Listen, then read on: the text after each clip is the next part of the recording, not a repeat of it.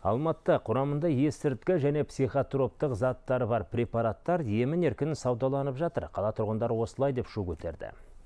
Халықтың айтуынша қаладағы дәріханалардың бірінің маңы нашақорлар жиналатын орынға айналған. Ондағы үйлердің ауласы мен кіреберістерінде қолданылған шприц пен дәрі құтылары шашылып жатады. Жастар да сол жерге үйір болып алған, ал полициядан ешқандай қайыр жоқ. Фармацевтикалық бақылау қызметі болса, бұл жағдайдан хабарсыз болып шықты. Төле би мен бруно көшелерінің қиылысында орналасқан көпқабатты үйдің тұрғындарының айтуынша бұл дәріхана бірнеше жылдан бері құрамында есірткі және психотропты заттар бар препараттарды сатумен айналысады. Тіпті ешкімнен қымсынбайды көбіне түнде сатады ешқандай рецепт сұрамайды. Сондықтан жастар мұнда отқа үймелеген көбелектей асығады. Дәріхана маңындағы үйлердің тұрғындары таң ата олардың шуынан оянуды әдетке айналдырған. Ақырында ойын алаңдары мен аулада шашылып жатқан шприцтерге көздері үйреніп кеткен. Қазірдің өзінде тропика пен трамадол дәрісінің бос бөтелкелері шашылып жатыр. Шындығында ол жерде не сататыны рас болу керек. Себебі ол жерде отырып кейбіреулер ұйықтап жатады кейбіреу жатады. Мына біздің подъездге төрт рет ішіне кіріп қайтып қалай кіргенін білмеймін. ішіне кіріп кетіп сол жерде жатқан жерінен әрең дегенде қуып шықтық. Қимылдамайды милицияны шақырсақ о бір жарым сағатта только келді. О келгенше ол есін жинап кетіп қалды. Приз жатады ана бутылочка жатады.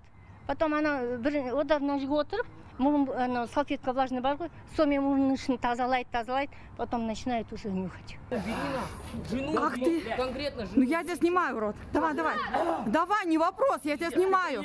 қазір жағдай тіпті ушығып кеткені сыңайлы таяуда ескерту жасаған тұрғынның бетіне сол маңда жүрген жігіт көзден жас ағызатын сұйықтық шашып жіберген у нас на втором этаже квартира. Біздің пәтеріміз екінші қабатта дәл бұрышта. Көзді ашытатын баллонмен көршіме шашып жіберіпті соның иісі терезеге ашық тұрған соң біздің пәтерімізге де келді. Менің де немеремнің де тамағымыз жыбырлап жөтеліп қалдық. Бұл сұмдық қой.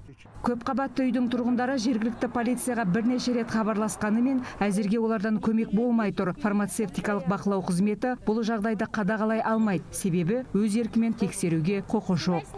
Мы осуществляем проверку после того біз дәрі дәрмек сататын ұйымның орналасқан жері мен бизнес сәйкестендіру нөмірін көрсетілген өтініш түскеннен кейін тексере аламыз. Осыдан кейін ғана бас прокуратураның алматы қаласы бойынша құқықтық статистика және арнайы есепке алу департаментімен келісілген тексеріс тағайындаймыз. Осы жыл басында жеке кәсіпкер тойбаевтың трамадол дәрілік препаратын рецептсіз сатқаны туралы дерек тіркелді хаттама жасалып жүз айлық есептік көрсеткіш көлемінде айыппұл салынды.